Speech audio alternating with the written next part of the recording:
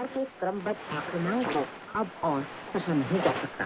अधिकारियों का, उन्होंने आह्वान किया कि वे अपने सह नागरिकों की सुरक्षा के उपाय करें।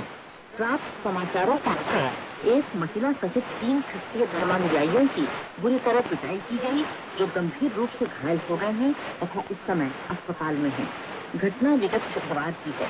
कुछ एक हिंदू चरमपंथी भागेश्वर राभा से मिले और उसे पुनः हिंदू धर्म स्वीकार करने के लिए बाध्य करने लगे। उसी रात में लगभग 40 चरमपंथियों ने मानेश्वर राधा के घर हमला बोल दिया तथा उसे उसकी और दो सहयोगियों को घर से बाहर खींच कर पीटा।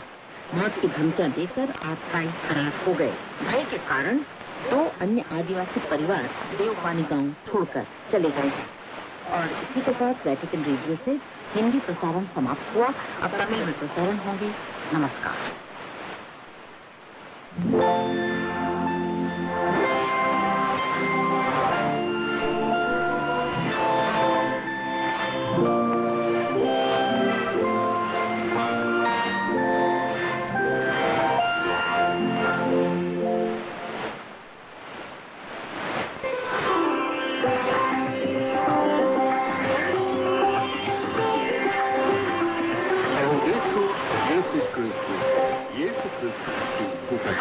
தமிழ் கூறும் நல் உலகில் வாழும் அனைத்து அன்புள்ளங்களுக்கும் வத்திக்கான் வானொலியின் வணக்கம்.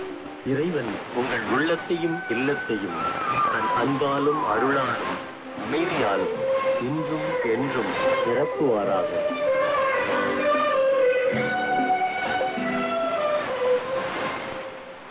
நேயர்களே இன்றைய நம் ஒளிபரப்பில் இடம்பெறுவன கவிதை கனவுகள் திருத்தந்தையின் புதன் குழு வரைபுனகம் திரு அவையில் திருப்பு முனைகள் மற்றும் செய்திகள்.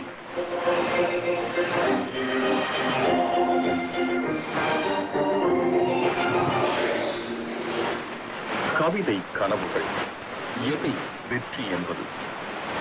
பிரச்சனைகளுடனேயே பிறந்தவரும் இல்லை இறக்கும் போது கொண்டு செல்பவரும் இல்லை. வாழ்ந்துதான் ஆக வேண்டும் பிரச்சனைகளுடன் தனிமையை நாடுவதும் தப்பி ஓடுவதும் தீர்வாகாது.